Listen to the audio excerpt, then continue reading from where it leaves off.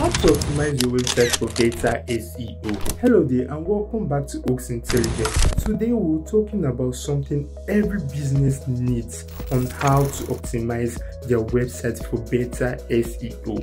Search engine optimization is key to driving traffic and getting your website noticed. Let's explore some easy actionable tips to boost your site's ranking. First, we have understanding SEO basics. SEO or search engine optimization is the process of improving your website to increase its visibility on search engines like Google. To rank higher, your website needs to be well structured and contain relevant high quality content. Let's break down the key elements you should focus on. We have the keyword research. Keywords are the foundation of SEO. They are the words and phrases people type into search engine when looking for information. Start by researching relevant keywords for your businesses. Tools like Google Keywords Planner can help you find terms your audience is searching for.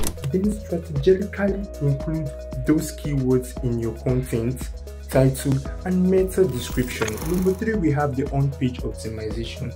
On-page SEO refers to optimizing the elements within your website itself, including meta tags, headers, and URLs. Make sure your title tags and meta descriptions are clear, keyword rich, and under the character limit. Also use proper heading tags like H1, H2, H3 to structure your content logically for both users and search engines. Next we have the content quality. High quality content is what keeps audience on your site and encourages them to explore more pages.